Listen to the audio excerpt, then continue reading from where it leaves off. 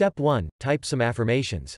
Step 2. Go to cloud.google.com slash text dash to dash speech slash link in description. Step 3. Copy and paste some of those affirmations. Don't copy and paste too much or the text-to-speech engine will run into an error. Step 4. Increase the speed by any amount you want.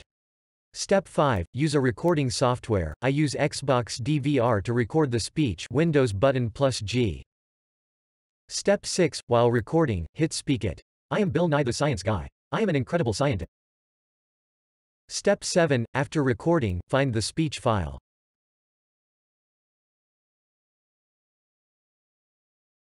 Step 8. Import the speech file into some movie editing software.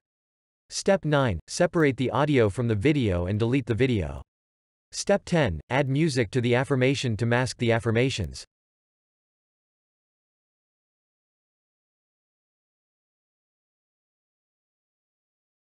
Step 11. Export it as an MP3 file.